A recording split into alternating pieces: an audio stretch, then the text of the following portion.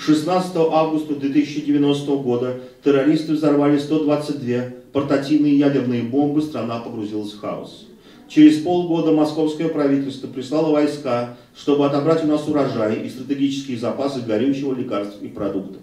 Мы убили их всех, а потом вместе с союзниками дошли до Москвы и вздернули все их правительство, включая мэра. Славься, непобедимая Кострома! Слава храбрым союзникам Ярославлю, Мурому и вам, бесстрашные электроугли! Пусть предатели знают, есть только два пути – Родина или смерть.